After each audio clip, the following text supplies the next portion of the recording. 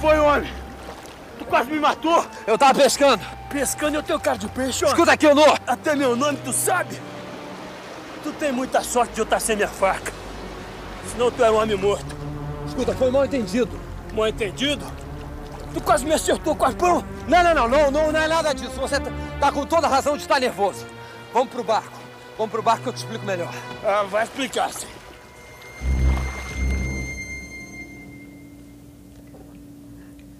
Não quer me contar o que foi? Não ia adiantar nada. Eu tô preocupada, vó. De repente a senhora ficou de um jeito. Foi como se recebesse algum aviso, uma notícia ruim. Exagero, mulher. Foi uma pontada. Nada demais. O coração. Mas já passou. Se a senhora quiser que eu vá. Eu só queria que tu me deixasse só. Mas, Sai daqui.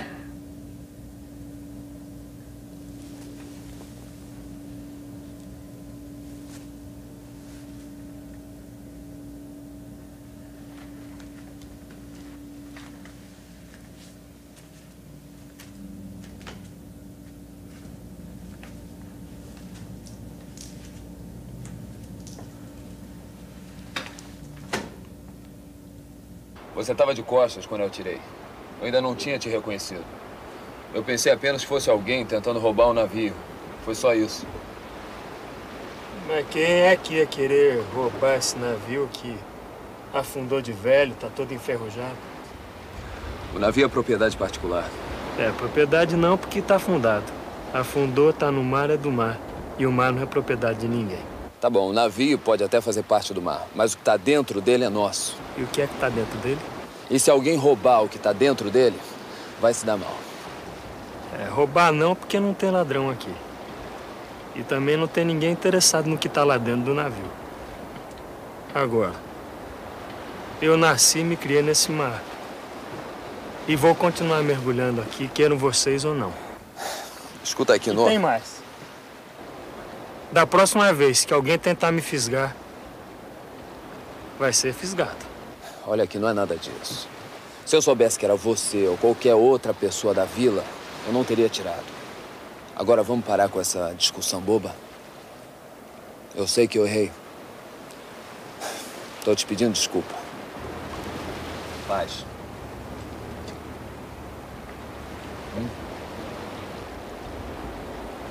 Eu vou nadando. Vem comigo no barco. Eu faço questão. Eu sou teu pai e não quero saber de filho meu andando atrás dessa tal de Francisca. Já me basta o outro. Ela não faz mal a ninguém, pai. Queria roubar a noite de vó Manuela. Até um filho dele ela ia ter. Ela me jurou que ele não gosta mais dele. Quem que vai acreditar em jura de vadia, Lucas? O senhor não tem o direito de falar assim da Francisca, entendeu? Tu que não tem o direito de falar desse jeito com teu pai, hein?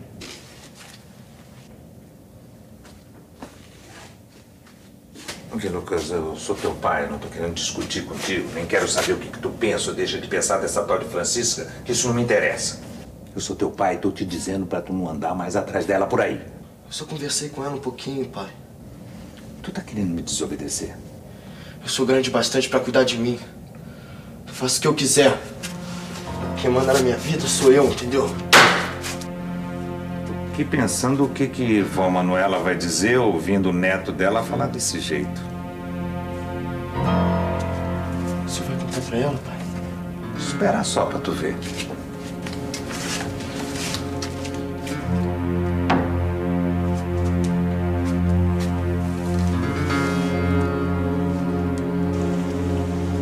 Que tal? Essas cores, esse molho. Hum, eu nunca vi um prato tão bonito. E o cheirinho, então? Será que já tá no ponto? Experimenta pra ver. Cuidado pra não queimar a língua. Hum, dá pra sentir o gosto de cada um dos temperos. Sabe que eu nunca comi uma coisa tão forte, tão gostosa? E o seu Carlos? Será que ele vai gostar? O Carlos pode estranhar um pouquinho. Mas um prato tão bom como esse, quem é que não vai gostar? tá tão gostoso que eu não me importo nem de engordar. Quer mais um pouco? Quero.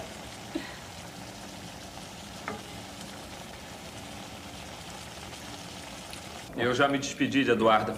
Gostei muito de conhecer a sua esposa, Dr. Carlos. A Eduarda é tão doce, né? Tão sensível, não é? Parece que ela está se acostumando com o riacho doce mais depressa do que eu. Ótimo. É um problema a menos para você. Mesmo porque problemas é o que não nos falta por aqui. Helena, para de ser ranzinza. Graças a Deus, os meus problemas eu já resolvi.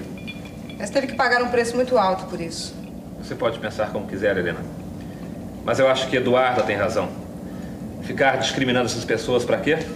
São eles que nos discriminam, padre. Eu já falei. Talvez isso comece a mudar. Quando eu voltar a Riacho Doce daqui a alguns meses, Ah, eu sinto muito se não nos encontrarmos, padre. Mas daqui a alguns meses eu espero não estar mais aqui.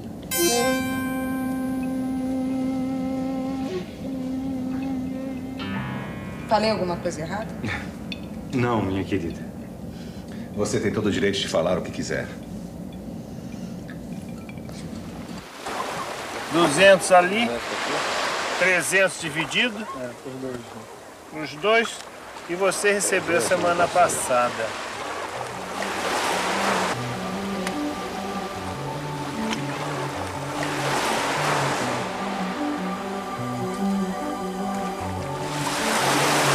Ô, Nô, peraí. Agora você tá de amizade com essa gente de fora, é? Olha, capitão. Eu aposto que a sua avó não sabe disso. Pois é exatamente para contar para ela que eu tô indo. Se o senhor deixar.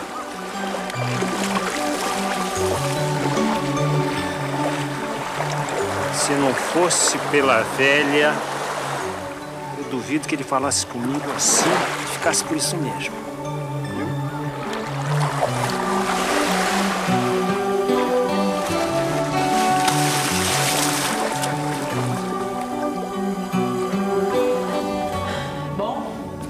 Agora que o Frei já foi embora e tudo acalmou, Tudo o quê? Helena, hoje você acordou pior do que os outros dias, hein? Você acha?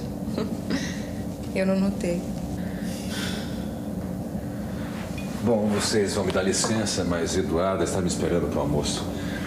Tchau, tchau. tchau. Eu queria falar com o senhor, doutor Carlos, e como você também, Silveira. Meu irmão falou que você estava pescando perto do navio. E o meu peixe? É, eu quase fisguei um, e bem graúdo. Um tubarão? Não, eu não sei como te dizer isso, mas é, É um assunto do navio? É, é sobre o navio. Assunto de negócios, se não queremos molestar as senhoras aqui presentes. Então seria melhor vocês ficarem lá dentro, hein? Silveira. É linguagem muito técnica, meu amor. E você fica com dor de cabeça, hein? Cristina. Dá licença. O que aconteceu? É o tal do Noah. Eu peguei ele lá no fundo, espionando o navio. Senhor, tende piedade de nós.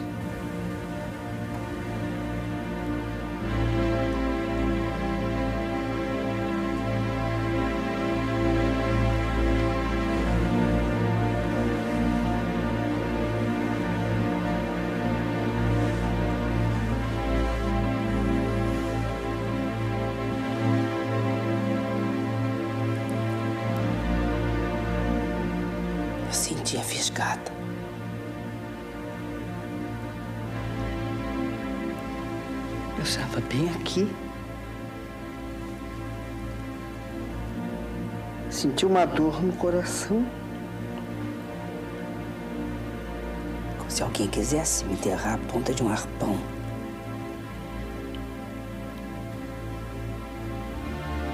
Esse homem tentou te matar assim, filho. Ainda bem, senhor, que eu fechei o teu corpo.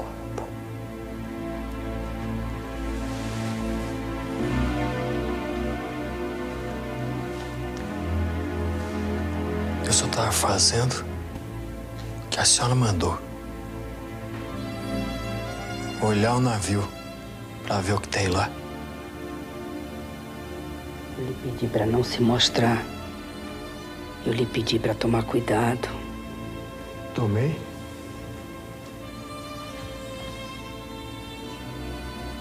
Fui na hora do almoço. Pensei que não tinha mais ninguém lá. Mas o tal sujeito ficou para pescar. Mergulhou e por muito pouco não me acerta.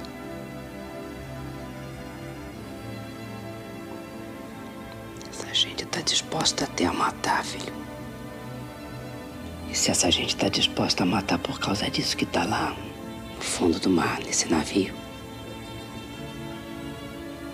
Porque é coisa muito importante, sim.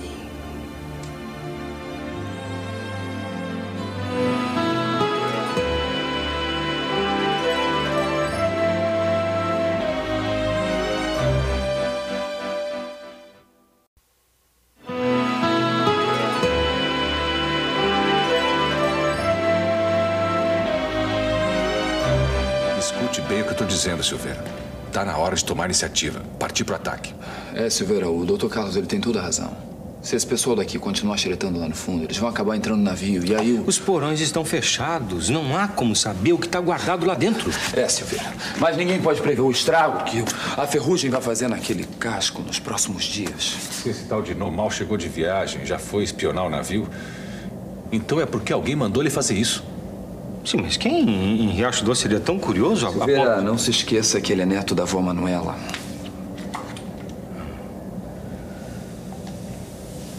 Eu vou resolver esse assunto ainda hoje. Carlos, vê lá o que, que você vai fazer, hein? Não se preocupe, Silveira. A responsabilidade é toda minha. Afinal de contas, foi para isso que eu vim.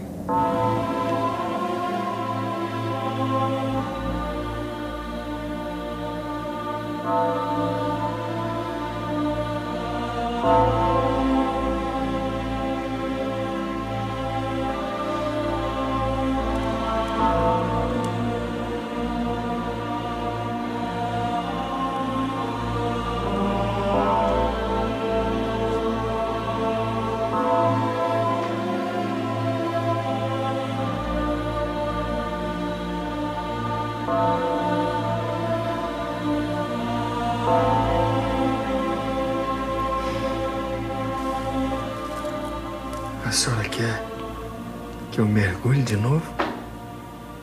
Que eu volte lá? Não. Eu não tenho medo, minha avó. Se for pela senhora, eu me arrisco.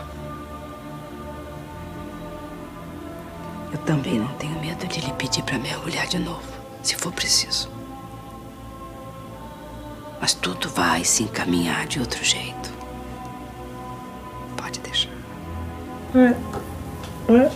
Logo no, andando no barco dos estrangeiros, se misturando com eles. Vocês não acham esquisito?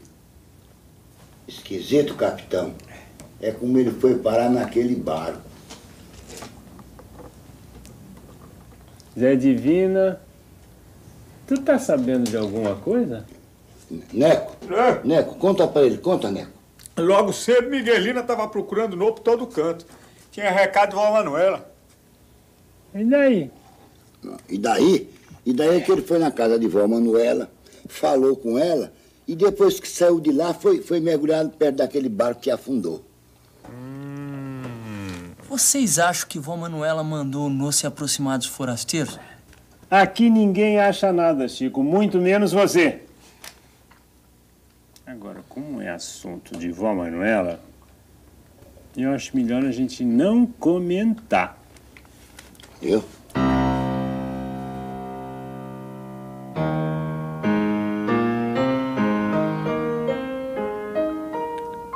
Você mal tocou na comida, Carlos.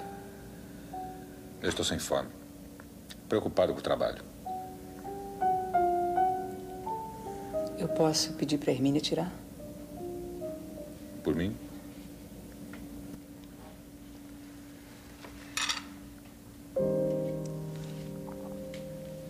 Você não gostou da muqueca? comida de índio, Eduardo. Temperada demais. Ah, Carlos. Você precisa ensinar essa mulher a fazer uma comida mais civilizada. Desse jeito, meu estômago não vai aguentar.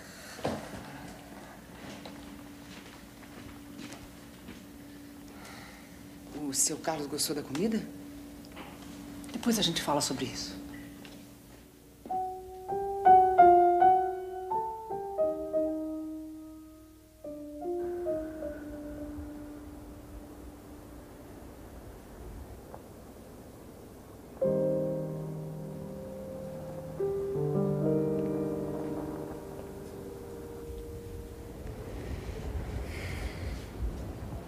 Não é o trabalho que está te deixando nervoso. É esse lugar. Você não gosta de Riacho Doce, né? Eu não tenho que gostar. Afinal de contas, só estou aqui de passagem. Mas você disse que não tínhamos prazo para voltar, que o teu trabalho no navio ia demorar. E é verdade. Então, se é assim, para que se isolar? Tudo que nós ganhamos com isso é a desconfiança dessa gente, a hostilidade deles. Por que, que nós não tentamos nos aproximar deles? Nos integrar? Eduarda, eu não tenho o menor interesse em me aproximar dessa gente horrorosa. Eu não quero me misturar com ninguém. Eu vou continuar mantendo distância. Mas que é isso, Carlos? Eu acho que você também devia tentar evitar qualquer tipo de aproximação. Aquilo que aconteceu ontem com você na praia deles foi um bom exemplo, foi uma boa lição. Está certo, nós vamos ficar aqui em Riacho Doce um bom tempo, sim. Agora, se você quiser se aproximar de alguém, se você quiser se integrar, então procure a Helena, a Cristina. Gente da nossa classe, com quem podemos nos entender. Esquece essa gente de Riacho Doce, Eduardo.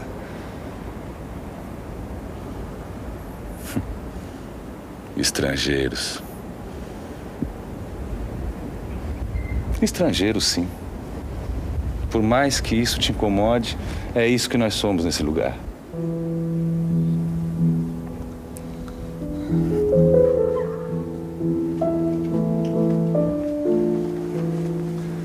Ah, Eduarda, não esqueça. Nada de comida de índio no jantar, tá bem?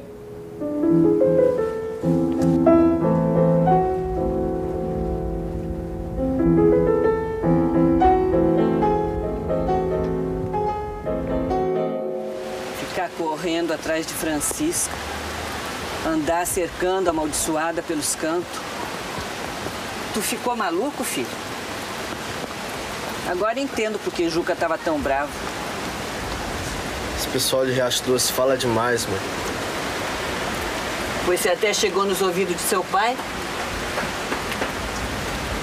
Ou tu vai me dizer que não é verdade? É. Andei conversando com ela assim.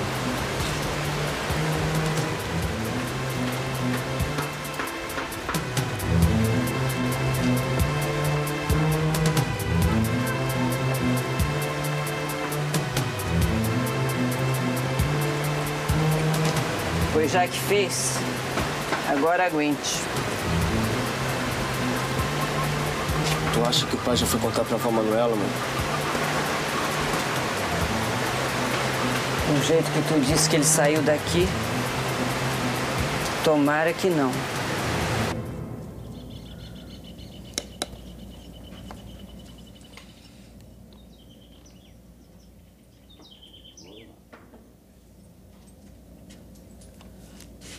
Te ensinaram a bater na porta dos outros antes de entrar? Eu aposto que tem gente que entra aqui sem bater. Teve um que fazia isso sim. O teu filho No. Agora o resto, se não passasse nem perto da minha porta, seria um favor. Ainda mais tu. Tu não pensa que eu tô aqui por gosto, não, viu? Se eu vim, foi por causa do meu filho, De No? do Lucas. Eu sei que tu anda de conversa com o menino na praia, que tu recebe ele aqui. Mentira. Ele me contou. Tá querendo, hein, Francisca? Tu não acha que tá facilitando demais, não? Vó Manuela já te amaldiçoou, agora tu quer o quê? Que ela te bote pra fora daqui?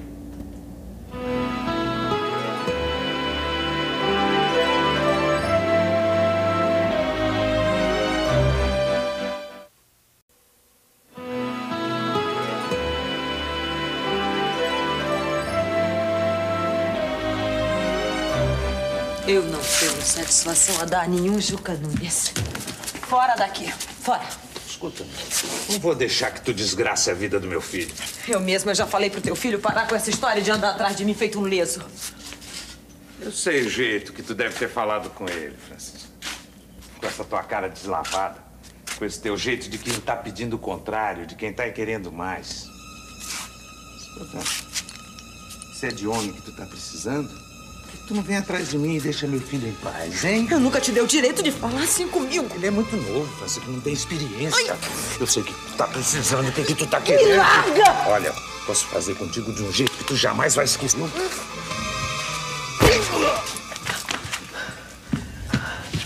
Se tu insistir nesse desvario, eu conto pra tua mulher. Conversa de uma vadia igual a tu. A Cefa não ia acreditar. Então experimenta. Experimenta pra tu ver.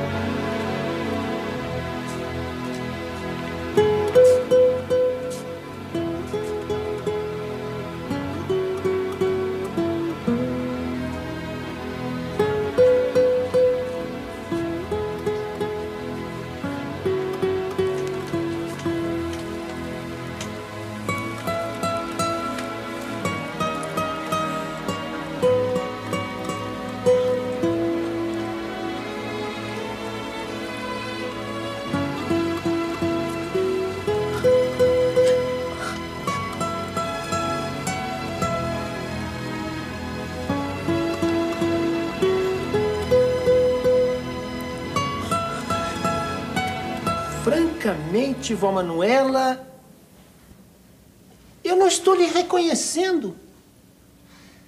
Tentaram fisgar seu neto com um arpão. E a senhora me diz que não vai fazer nada? Foi isso mesmo que o senhor ouviu.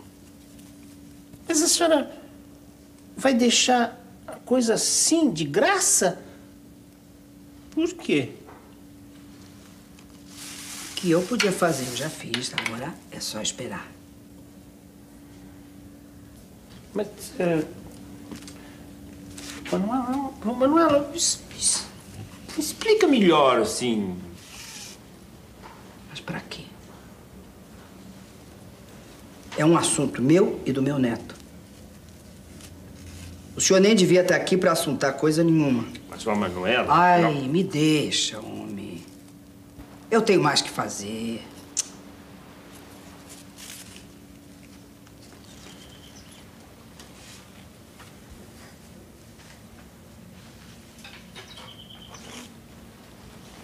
Já que a senhora não confia em mim,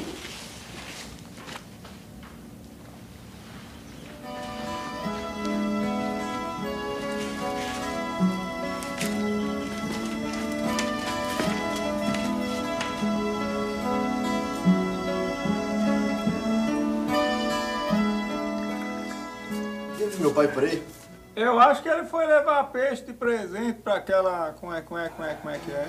Aquela. O que ele tá falando aí? Ô, ô, ô, Luca, é melhor não, não ouvir isso. Ó, ó, é mais uma besteira do Neco. A melhor coisa que você faz é não prestar atenção O pai ele dele vira criança. Chega? Neco. Ué, poxa, quem de bobagem sou eu, hein? Hein? Poxa. Estão tentando me esconder alguma coisa.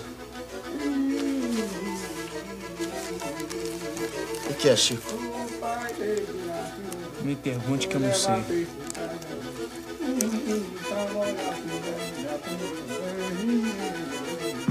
Calma, Lu. Tanto resmunga aí, seu Neco de Lourenço. Oxe, resmungando, tô resmungando. Sabe o que, que é, Lu? Você é que eu não bebi ainda, então eu só falo bobagem. Viu? Não se preocupe, não. Hum? Ah, Fabiano, eu tinha me esquecido. Recebeu o agradinho que eu lhe mandei por Dora?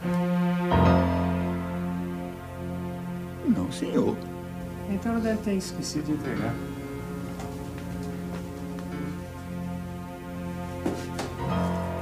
agradinho?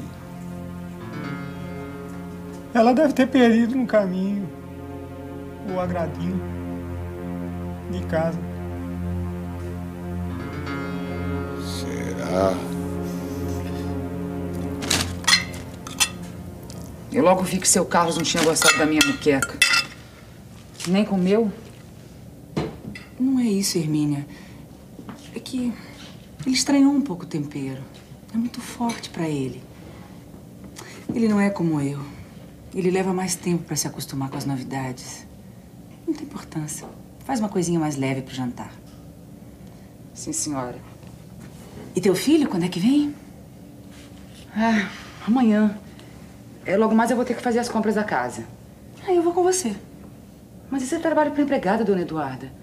É, patroa aqui em Riacho Doce não faz essas coisas, não. Mas eu quero fazer. Sabe por quê? Eu tô curiosa pra entrar naquele armazém. Mas lá só tem aqueles homens bebendo, bebendo cachaça o dia inteiro.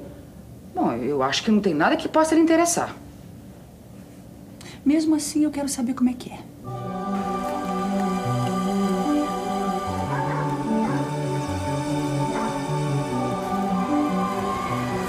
Já não falei pra não vir aqui que a patroa não gosta? Só vim porque o pai mandou. Que foi agora? Ele falou pra tu em casa que ele precisa falar contigo urgente. e pela cara, acho bom tu preparada, porque é assunto ruim.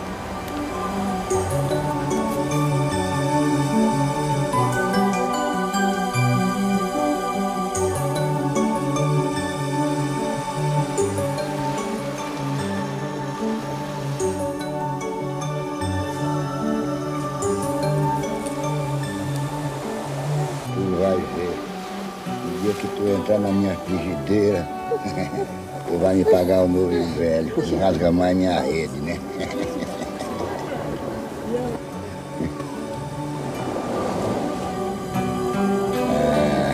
Zé Divino. Cuidado da rede. É, é o diabo uma moreia que anda por aí rasgando rede de todo jeito, todo mundo. Ô, Nô, você bem que podia dar um jeito nela pra nós. Matar a bicha? Nada. Sabe que eu não gosto de mexer com criatura do mar. Então, pelo menos, ajude a consertar os tragos que ela fez. Becalinho. Toma. É a senhora, dona Luzia, deixe de tremedeira, pegue seu filho e raspe daqui. José. Seu marido Pedro pode chegar a qualquer momento. Tu quer que ele lhe veja nesse estado? Tá bom. É, é bom mesmo, dona Zé. Quem com muita pé da bola, uma lhe cai na cabeça. Com que força você diz? Que foi que deu nela, mano? E eu sei.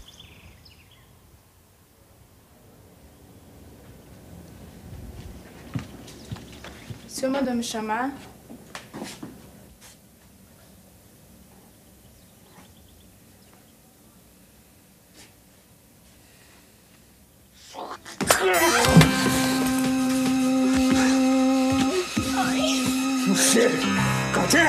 O dinheiro que o Capitão Maurinho lhe deu? Cadê o dinheiro?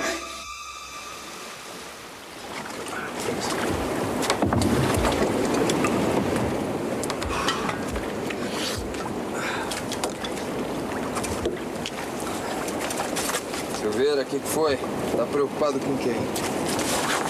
Carlos não voltou do almoço até agora, viu? E ele disse que ia resolver de uma vez por todas essa história de novo. Você acha que ele vai fazer o quê? Sei lá. Eu não tô gostando nada disso. Mal chegou, ele já se adonou de tudo. Só espero que ele não faça nenhuma besteira.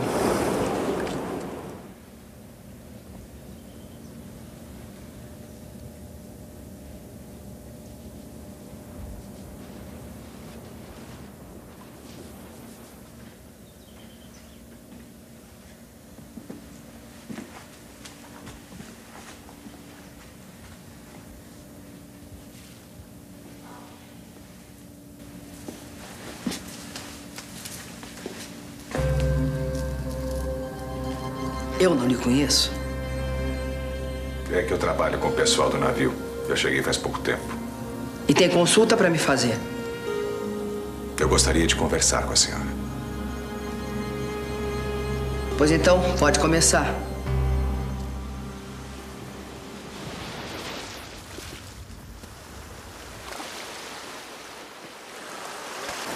Quer saber de uma coisa, Zé Divina? Cansei. Ei. Você parece que já nasceu cansado. Aquele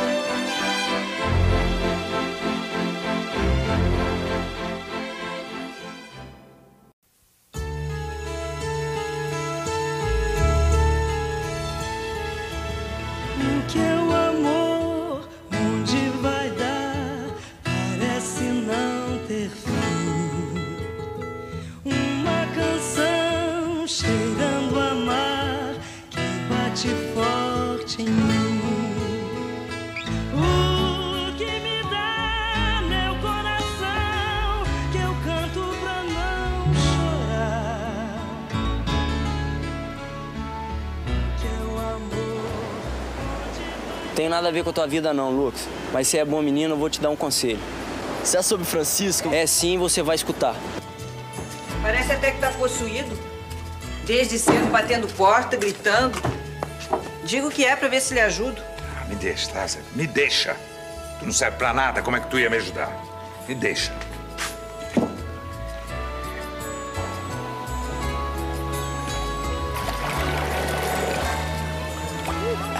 Filho do Nó? Do Eduardo não repita isso. Ele é filho do marido de Luzia. Mas ele morre de ciúmes do Nó.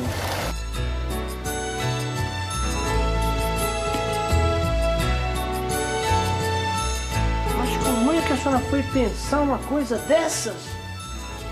Só pode ser porque a senhora não me conhece direito. Eu nunca quis encostar um dedinho que fosse em Dora. Não queria machucar ela, não, senhor. Mas então por que foi que bateu? Vai contar ou não vai contar? Não foi por nada, não, senhor. Porque é ruim mesmo, porque não presta. Não culpe o pai, capitão. O que me dá meu coração que eu canto pra não chorar. O que é o amor? Um raio acabe comigo. Se não é a imagem escarrada na minha encantada. A senhora é ela, é. Vem me buscar.